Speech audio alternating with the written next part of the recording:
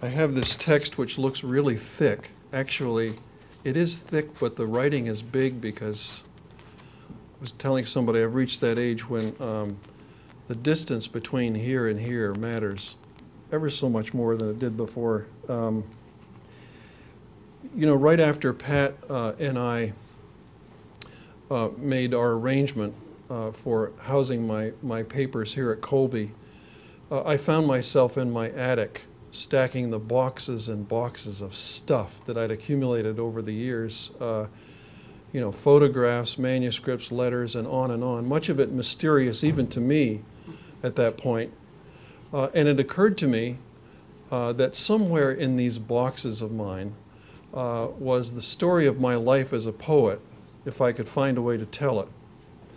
Uh, and that's when um, I got the idea of making slides directly from the collection, thinking that if I could tell the story in this way uh, to you, I could uh, also maybe tell it to myself at the same time. So uh, this is that story um, in a text keyed to slides.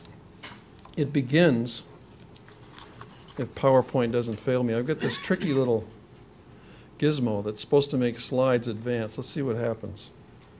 There we go. It, it begins in the 1940s with photographs from this album that was put together over the course of my childhood and youth by my mother. She made three of these albums, by the way, this one for me and the other two, same cover in different colors for my two brothers. The cover, as you see, features Uncle Sam at the helm of the ship of state during World War II, with cannons there at the lower right, a warplane at the upper left, and at the upper right, an outraged eagle. Well, imagine for a minute that this ship of state represents not only a troubled nation, but a troubled family, and that Uncle Sam is a woman, my mother, who, as it happened, had her own difficulties at the helm of my family in the 1940s. Here she is with my two brothers and me in our yard where we're having a picnic. In the background is our apartment building in a project called Southview, located in Springfield, Vermont. It must be my father took the picture, but it seems appropriate looking back that he wasn't in it because he was often absent from the family in that period, organizing labor unions in New England shops and mills. Eventually, he left my mother for another woman he met on the road. There was no child support and no way for her to make money except through seamstress work. So, my father's long absences and his final disappearance were a disaster for our family. And when he was gone, my mother was often angry at us and used her switch. But looking at snapshots like this one of my two brothers and me, you'd never know there was any disharmony because again and again the photographs she took present us dressed alike in clothes she sewed for us as characters in the unfolding narrative of a happy family. I'm the kid in the middle, by the way, the second born with more of Southview in the background, as you see, together with period cars. In this somewhat fuzzy snapshot, we're wearing the Sunday suits my mother sewed, and she's arranged us in her typical one, two, three order up the stone steps of our backyard. It's not the greatest photograph, as I say, but I thought you might enjoy my little brother's forced smile, which is turning into a grimace because of the cold. This picture shows the three of us a year later on Christmas Eve, dressed in bathrobes and holding presents with our usual happy smiles. The actual event that inspired the photograph was not happy at all, but heartbreaking, because this was the Christmas Eve that my father promised after a very long absence to join the family with gifts and never showed up.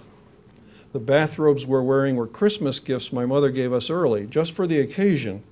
And when she saw my father wasn't coming after all, she snapped this photo as if to transform the heartbreak into continuity and contentment.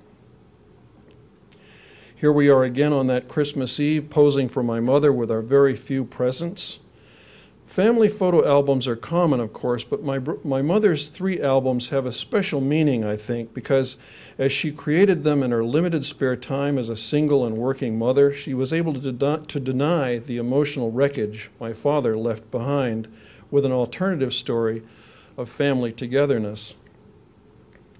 But as I look closely at this still later photograph taken by a neighbor and lacking my mother's framing mythology, I find clues to the underside of that story. In this snapshot, All the neighborhood children wear jackets to protect them from the cold, except for my brother John and me in the back row, who wear only t shirts, my own t shirt torn at the collar.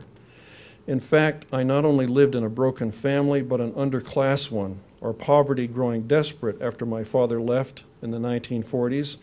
And that experience gave me my first awareness as a poet of life outside of the social mainstream. My mother was deeply sympathetic toward blacks, and when I was in second grade or thereabouts, she read to me the episodic stories of a black boy named Little Brown Koko. One reason I identified with Koko, no doubt, was that he lived with his mother, who was called Mama, the name I used for my mother, and the father of the family in the stories was absent and never mentioned. But I also liked the Koko stories because of the food. The meals were always sumptuous and fully described, including food we seldom saw in our nearly bare cupboards. I'll read this excerpt for illustration. Then such eating you never saw before in all your born days.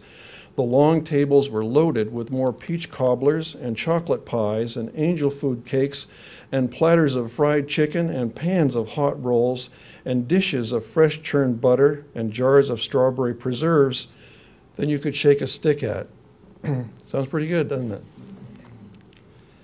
Speaking of food, here's little brown Koko from another episode, finishing off his mother's batter for pralines. And there's his mother's name, Mama, scattered through the text at the right. Of course, African Americans were stereotyped in the Little Brown Koko episodes, yet I see looking back that despite the stereotyping, the stories increased my sympathy for people who lived outside of social privilege. Each month, as they were published in a magazine my mother bought at the local A&P market, I cut them out, and together they became my first book, a special statement about their importance to me. When my family was flush in the days before my father left, my mother even bought black dolls for us, as this photo from my album attests. I'm in the middle again, the kid with a black doll. In my own mind, there's a straight line that leads from the socially rejected New Englanders who sometimes appear in my poems back to early materials like these. My mother not only took photographs of me as I was growing up, she kept in this scrapbook a number of things from my childhood, including report cards. Here's one from first grade. What I remember most from first grade is that I had an old teacher we called Miss Dorcas. As you see from the card, her full name was Dorcas Judkins. Love that name. Who, for punishment, once dragged me down the hall by the hair. So imagine my surprise in reviewing these materials to find this description of myself from the final quarter in perfectly controlled and sedate handwriting. No sign of the hair dragger here. Wesley completes this year's work with an excellent record, has read 19 books. Here's another report card from fourth grade and another quarterly re report. Wesley daydreams, exclamation point. My grade school teachers were upset with me as a daydreamer, and my mother, in exasperation, often called me stubborn. Yet I want to say in my defense that it's by these very two characteristics, that is, my daydreaming and my stubbornness, that I became in the end a poet.